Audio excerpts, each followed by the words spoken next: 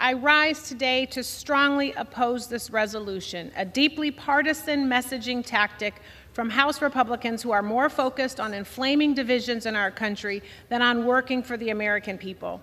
If Republicans cared about public safety, they would work to address the gun violence epidemic in our nation, which even law enforcement says is out of control. And if they really cared about law enforcement, they would not try to defund agencies like the AFT and the FBI.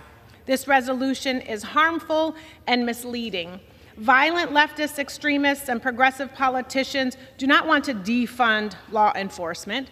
This characterization is a corrupt narrative that runs counter to the real conversations that Americans want to have about the issues their communities face.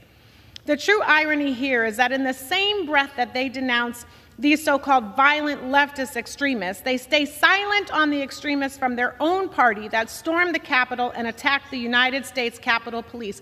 Men and women still working here today, disrespected every single day by my colleagues' silence on this issue.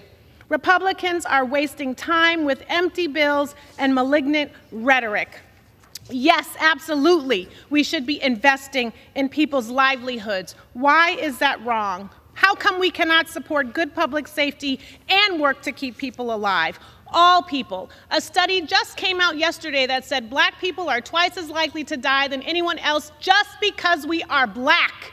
And that includes interacting with law enforcement. I respectfully ask that we vote no on this resolution. Thank you, and I yield back.